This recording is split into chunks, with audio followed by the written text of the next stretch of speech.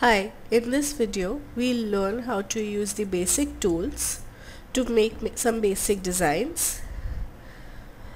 Here we are going to use the pen tool to make t-shirts, caps.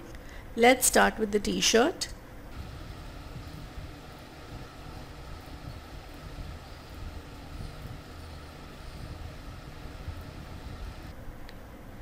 Selection tool.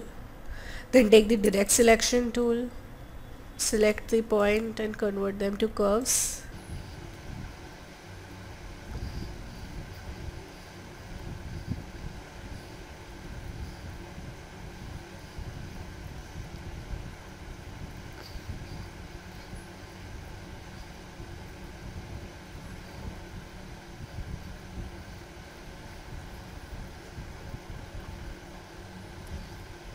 Selection tool take a reflect tool press alt click in the center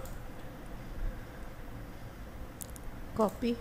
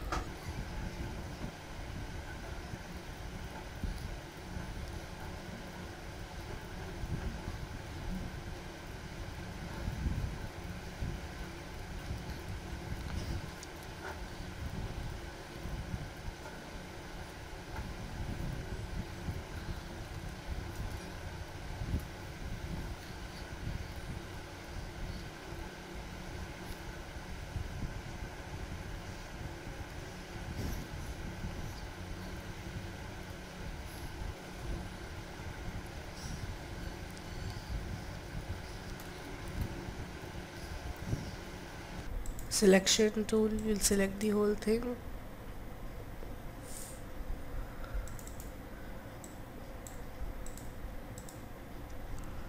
Selection tool select the whole thing right click and group it. Our t-shirt is ready. For further queries please contact us on info at aonlinetraining.com thank you